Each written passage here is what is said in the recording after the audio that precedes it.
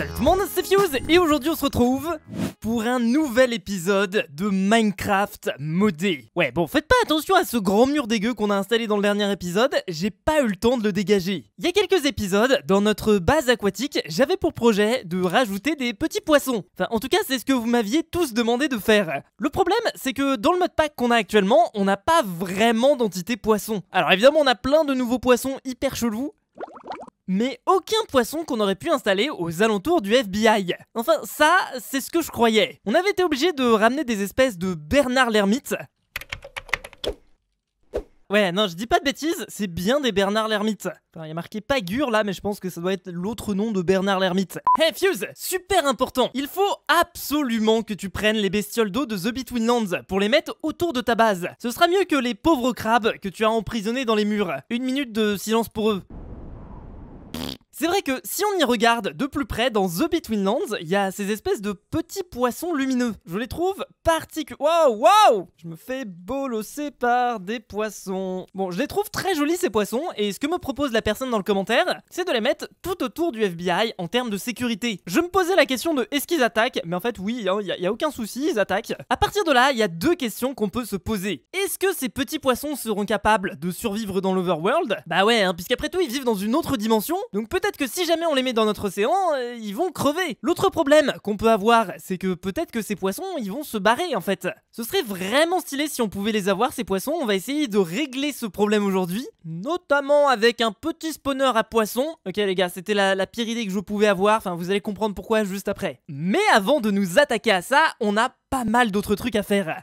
Vous le savez depuis quelques épisodes, j'ai pour projet de faire une muraille gigantesque autour de ma base. On a déjà préconstruit tout le tour de cette muraille, on n'a plus qu'à avoir des tonnes et des tonnes de verre pour le construire, mais, mais, mais, on a toujours ce fucking problème de montagne qui est en plein milieu de la zone de construction du mur. C'est d'ailleurs pour ça que dans le dernier épisode, on a fait un petit peu joujou avec la TNT pour s'en débarrasser, mais pour le coup, si vous voulez mon avis, il reste encore pas mal de travail à faire dans cette zone. Vous avez été nombreux à me dire que ce soi-disant mur de protection que j'ai mis en place servait pas à grand chose. Fuse, tu n'avais en rien besoin d'un mur géant, tu as claim la zone de ta base, donc les explosions sont désactivées dans cette zone. C'est un petit détail que j'avais oublié, mais c'est vrai que toute cette partie-là de la base est immunisée aux explosions. Bon, du coup, on va pouvoir dégager ce mur géant. Normalement, si je fais un clic droit, voilà, il y a tout qui part d'un seul coup. Ah, non, quoique, regardez, les blocs isolés restent dans la zone. Ah, bon, c'est bon, je me suis débarrassé de tous les blocs qui restaient du mur. Mais du coup, il nous reste encore une bonne grosse partie de la montagne à détruire. Dans le dernier épisode, je vous avais demandé si jamais vous préfériez qu'on continue le terraforming avec la TNT ou qu'on utilise une machine. À la base, je voulais faire un sondage YouTube pour savoir ce que vous préfériez. Bon, le seul truc c'est que YouTube a désactivé cette fonctionnalité, c'est un peu débile si vous voulez mon avis. À la place, j'ai fait un petit sondage sur Insta et apparemment c'est la machine qui gagne. Après,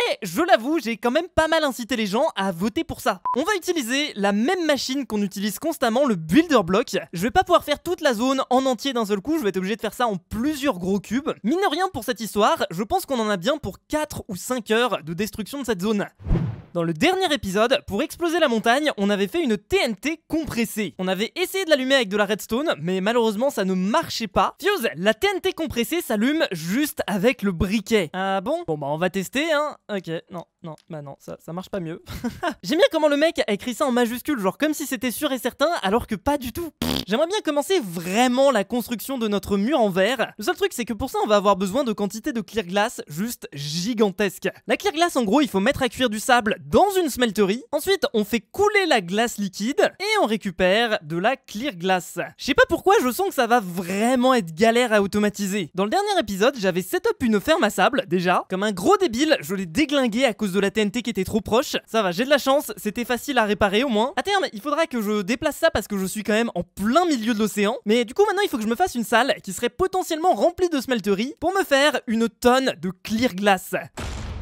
De temps en temps, il y a Eldix qui m'aide sur le build des choses dans le FBI. C'est par exemple lui qui a fait ce Tardis dans le dôme principal. Et on s'est dit que potentiellement ça pourrait être cool de faire une salle YouTube. Bon, c'était une idée aussi que certains d'entre vous avaient dans les commentaires. Bon, du coup, on va voir ce qu'il a fait derrière. Et voilà à quoi ressemble la salle YouTube. Je dois avouer que je suis pas super fan qu'il y ait des placeholders rouges tout autour. Par contre, pour le coup, le setup en lui-même, je valide. Il est très très classe. Oh, j'avais pas vu, regardez, il a même fait un fond vert. Eh, c'est le même que celui que j'ai en vrai, hein. En tout cas, je trouve que du point de vue de Chisel and Beats, ça rend vraiment très stylé. Par contre, du point de vue plus global de la salle, je suis pas super fan. Ouais, en fait, je suis vraiment pas du tout fan de l'idée d'avoir des blocs complets à côté du verre. En fait, c'est surtout que vu de l'extérieur, ça rend un petit peu chelou. Et le vrai problème, c'est l'emplacement du dôme.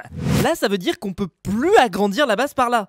Ce que j'ai fait, c'est que j'ai dégagé le dôme et j'ai fait un tunnel un petit peu long pour qu'on puisse continuer par là-bas. Si jamais on veut être capable de continuer, il va falloir qu'on agrandisse un petit peu la grotte. Mais ça résout pas du tout notre problème de smelterie. Le truc, c'est que je sais pas du tout où l'installer, Didier, t'as une idée?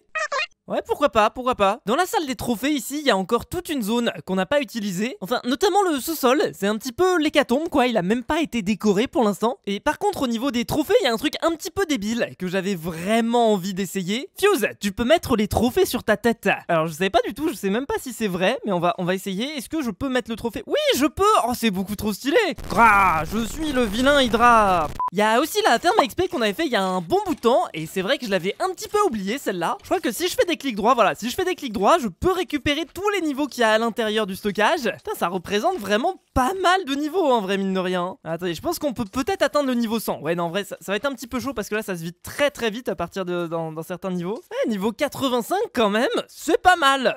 Je me suis fait une petite zone dans laquelle j'ai mis la masse de smelteries. On a un total de 6 smelteries ici. Maintenant, la prochaine étape, ça va être de faire en sorte d'amener le fuel à ces smelteries. Parce que ce que je vous ai pas montré un petit peu plus tôt, c'est que pour fonctionner, la smelterie, elle a besoin de lave. Je vous fais pas un dessin, hein, mais la lave, on va directement la récupérer dans le Nether. Il y en a des tonnes et des tonnes, donc on va se servir. Je savais pas à la base, mais le Dimensional Transceiver, vous savez, c'est le bloc qu'on utilise pour transférer de l'électricité de façon sans fil. Et eh bah, ben, je savais pas, mais en plus de permettre de transporter l'électricité, il permet aussi de transporter des liquides, des items, enfin c'est juste un item ultra pratique. Donc je fais en sorte que l'électricité parte d'un côté et alimente la pompe, et de l'autre côté je récupère la lave et je l'envoie de façon sans fil.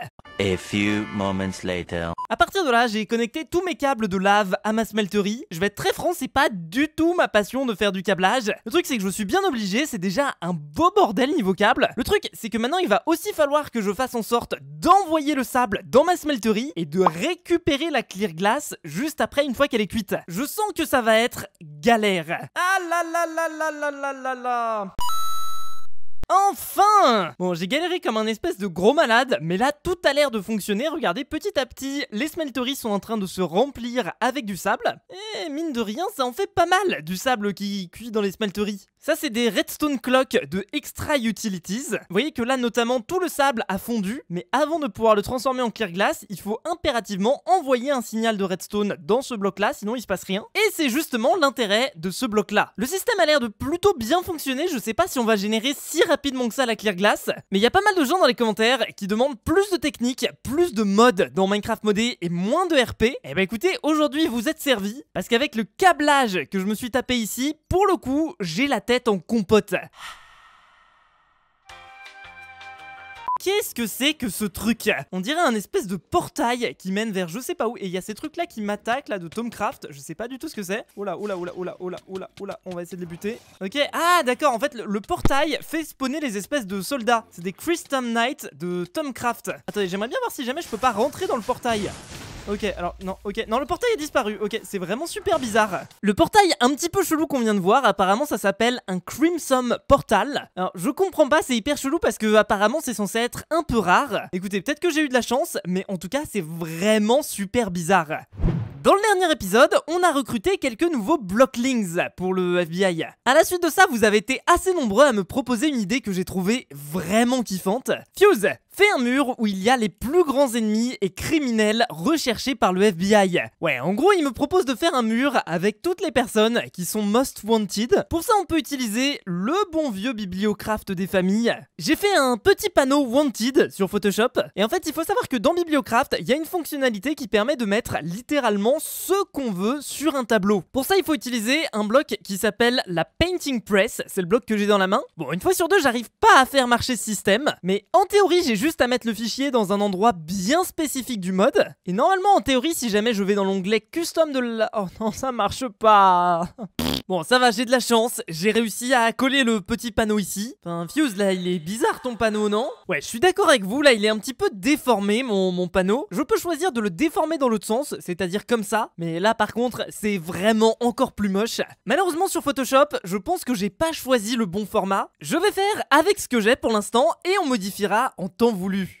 Bon, je reviens de checker un petit peu ce qui se passe au niveau de notre usine à smelterie. On est à 2600 de clear glass, c'est pas mal pour un début. Tant qu'on y est, je pense qu'on va essayer un petit peu de commencer la construction du premier anneau. Bon, on en est quand même très très loin, hein. Tiens, et d'ailleurs en parlant d'anneaux, dans le dernier épisode, il y avait l'air d'avoir pas mal de gens choqués de mon challenge de regarder tous les Star Wars et tous les Seigneurs des Anneaux d'un seul coup si jamais on passait les 2 millions d'abonnés avant 2021. Du coup, j'en profite pour rappeler que si jamais toutes les personnes qui ne sont pas abonnées à la chaîne on serait déjà aux 2 millions d'abonnés, donc qu'est-ce que vous attendez?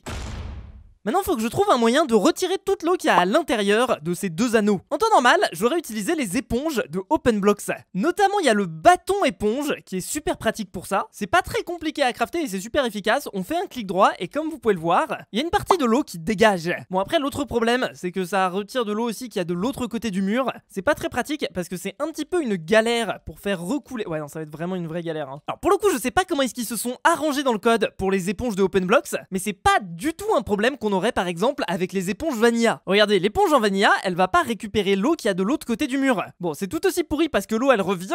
Ça, c'est un truc que j'ai jamais compris avec les éponges Vanilla. Aujourd'hui, par curiosité, j'ai envie d'utiliser un autre outil qui permet de retirer l'eau. C'est Eldix qui m'en a parlé. Ça s'appelle l'antimateur évaporator. Je sais pas du tout ce qu'il vaut ce bâton, mais apparemment il permet de retirer l'eau dans une zone donnée. Je sais s'il y a marqué qu'on est en mode water, donc c'est exactement ce qu'on veut faire. Qu'est-ce qui se passe si jamais. Ah ouais, ah ouais, c'est pas mal du tout. Et pour le coup, en termes de durabilité, on est sur quelque chose de beaucoup plus intéressant que notre vieille éponge. Ouais, par comparaison, l'éponge, on a juste 256 de durabilité. Bon, alors je vais pas mentir, l'eau elle va quand même être relativement longue à retirer, et on a quand même le même problème avec l'eau que le bâton de OpenBlocks.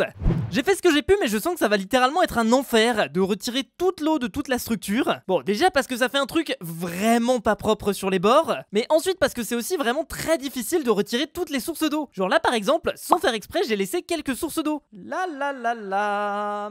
J'ai essayé de réparer comme je pouvais les sources d'eau, j'ai plutôt bien réussi. Maintenant, ça a créé quelques embrouilles et il y a carrément de l'eau qui a coulé juste ici. J'ai pas hâte de continuer la construction. Fuse, pour une prochaine vidéo, fais un dôme où tu mettras une armurerie, ça pourrait être classe. C'est vrai que si jamais on veut être capable de se protéger de Reddit, on va forcément avoir besoin d'un moment ou un autre d'armes. Ouais, en vrai, une armurerie, ça pourrait être une bonne idée. Il est nul en déco, il fait de la déco quand même, c'est la déco de Fuse. Et voilà l'armurerie. Mais Fuse, c'est pas une armurerie ça Ah oui, non, c'est vrai, c'est fuseshop.fr. C'est là qu'il faut aller si jamais vous voulez des peluches Didier. ok, bon, j'arrête. Bon, du coup, je me suis dit que plutôt que de faire un dôme, comme ce que disait la personne dans son commentaire, je me suis dit que quand même, ce serait un petit peu bête si jamais l'armurerie était visible pour tout le monde. C'est pour ça que dans le bureau de Didier, j'ai caché un petit passage secret. Ici, j'ai mis un petit levier. J'ai mis un levier en caminite. Ouais, bon, en fait, c'est un levier normal avec un skin différent. Il suffit juste d'actionner ce levier. Ça va ouvrir un petit coffre dans lequel il y a un autre levier. Et ce deuxième levier, il faut le poser ici, l'activer, et ça va ouvrir un tout nouveau passage secret. Bon, alors, on ouvre la porte et on arrive directement dans l'armurerie. Pour le coup, je trouve qu'elle est incroyablement badass, cette armurerie. À terme, j'ai juste un petit peu peur que ça fasse lag. J'ai utilisé les conveyor belts de Immersive Engineering, que vous connaissez bien si jamais vous suivez la série. Ça veut dire tapis roulant, au cas où vous seriez nul en anglais. Pour le coup, ça c'est juste de la décoration. Le vrai stockage d'armes, il se fait ici. C'est tout simplement un stockage Applied Energy Sticks dans lequel j'ai stocké énormément d'armes. Il y a Eldix qui m'a notamment filé pas mal d'armes pour m'aider pour ma collection. Mais pour le coup, je commence à être vraiment content de ce à quoi ressemble notre base. Je savais pas, mais apparemment sur cette saison de Minecraft modé, il y a le mode Portal Gun. Je l'avais pas vu sur cette saison, pour le coup, c'est plutôt stylé. Hop là, nick. Oh là, mince, je suis, je suis coincé Ce qui serait cool, en plus d'avoir une armurerie dans notre base, ce serait d'avoir des gardes. Ouais, genre des mecs qui surveillent et qui seraient prêts à défendre la base si jamais il se passait quelque chose. Fuse, je pense que tu devrais un petit peu plus utiliser le mode Mine Colonies. Par exemple, tu pourrais faire un baraquement pour former des gardes que tu peux positionner dans tes dômes ou même monter une armée entière. J'ai essayé et j'ai 48 chevaliers et 26 archers de niveau 100 full diams enchante. Eh, c'est Pokémon le truc Le fait de savoir qu'on peut monter une armée, je trouve ça super stylé et ça me motive vraiment à reprendre Mine Colonies. Bon, ça et le fait que vous êtes assez nombreux à me le réclamer quand même. Bon, la dernière fois qu'on avait fait du Mine Colonies, on avait construit cette auberge. C'est une auberge qui est censée pouvoir accueillir deux villageois à l'intérieur. L'énorme problème que j'ai à l'heure actuelle avec Mine Colonies, c'est que vu que je suis dans un biome dans lequel il y a de la flotte littéralement partout, et bah les PNJ qui sont censés build de mes bâtiments, et bah ils se noient. Ouais, ils sont un petit peu débiles. Du coup, je me dis, vu que de toute façon j'ai retiré toute l'eau qu'il y a dans la zone, autant améliorer l'auberge au niveau maximum, comme ça on pourra accueillir encore plus de villageois et faire notre petite armée le plus vite possible. Longtemps plus tard, je perdure à dire que le système de Mine Colonies pour construire les bâtiments est vraiment ultra fastidieux et ultra relou. Mais en tout cas, on a level up notre auberge. No joke, il faut au moins 40 minutes pour faire une amélioration. Du coup, bonne nouvelle, à l'heure actuelle, on a 3 citoyens dans notre hutte. On pourrait la re-améliorer, mais j'ai un petit peu la flemme de me rebouffer 40 minutes d'attente pour l'améliorer. Donc ce sera pour le prochain épisode. Il faudrait aussi qu'on commence à réfléchir à la construction d'un champ parce que tous ces villageois, il faut bien les nourrir à un moment ou un autre.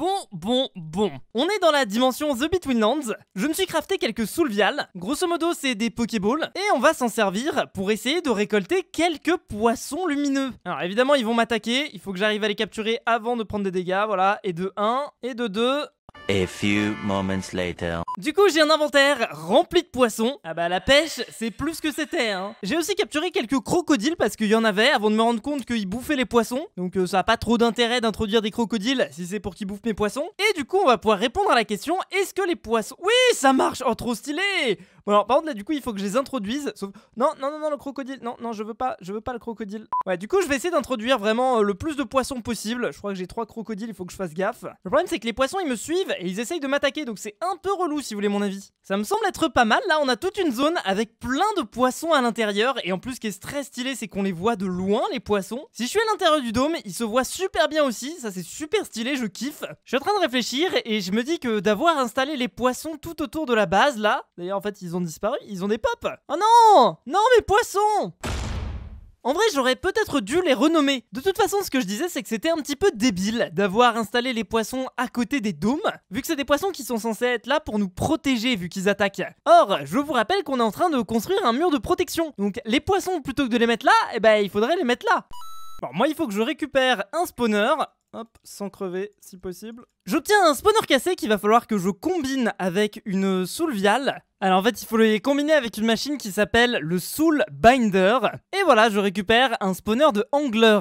Dernière étape, pour pouvoir faire un spawner de poisson, il faut que je combine un Powered Spawner de Under.io avec ma... Oh, il, manque, il manque un niveau quoi, le somme.